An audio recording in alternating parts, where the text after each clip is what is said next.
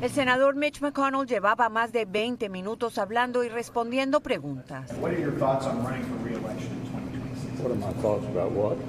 Cuando le preguntaron si pensaba aspirar a la reelección, pareció congelarse. El silencio duró 30 segundos. Inicialmente no le respondió a sus asesores. Y se vio aferrándose al podio, hasta que con aparente dificultad el senador volvió en sí. Y contestó una pregunta sobre la elección estatal antes de retirarse.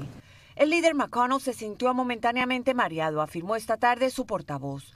Añadió que aunque ya se siente bien, el senador consultará a un médico antes de su próximo evento.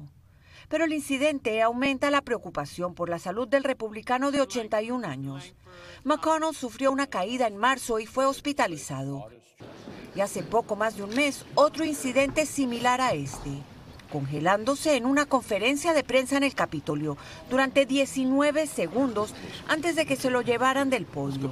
El presidente Joe Biden dijo que llamaría a su amigo.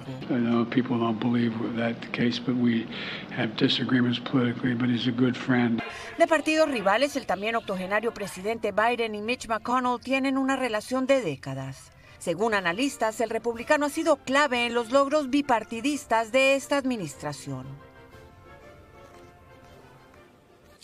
El silencio de 30 segundos de Mitch McConnell se ha hecho viral en las redes, reabriendo el debate sobre si debe haber un tope de edad para participar en la política.